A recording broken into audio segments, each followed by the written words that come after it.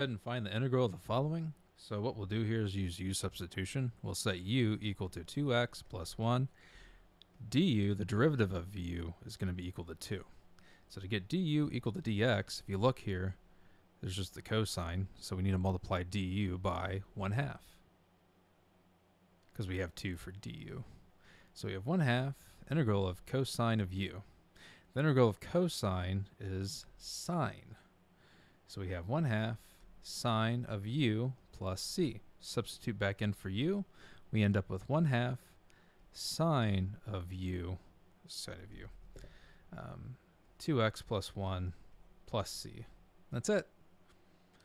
All right. I hope this helped you out. Appreciate you watching, and I will see you next time.